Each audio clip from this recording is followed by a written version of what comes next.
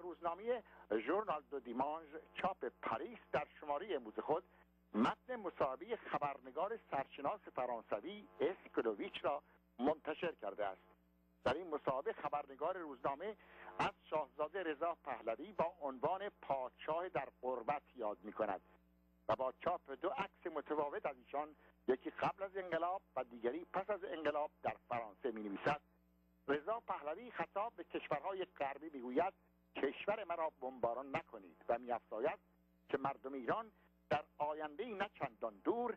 در صورت حمایت بین المللی به پا خواهند خواست و سرنوشت خود را به دست خواهند گرفت. شاهزاده رضا پهلوی می‌گوید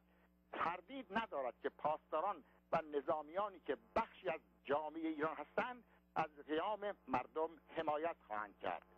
روزنامه فرانسوی ژورنال دو دیمانج می نویسد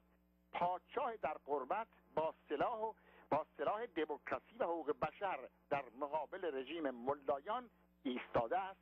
و میافزاید در جریان مصاحبه با شاهزاده رضا پهلوی در حالی که قطرات اشک چشمان پادشاه در قربت را فرا گرفته بود گفت ایران و ملت ما را با این تروریستا مخلوط نکنید. این رژیم مشروعیت مردمی است و به جای دفاع از منافع ملی ایران از منافع تروریستا و گروه های همانند حماس و حزب الله حمایت می کند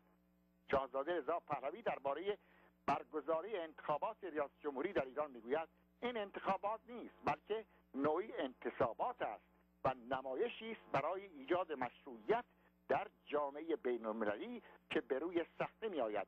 این رژیم مشروعیت پایگاهی در بین مردم ایران ندارد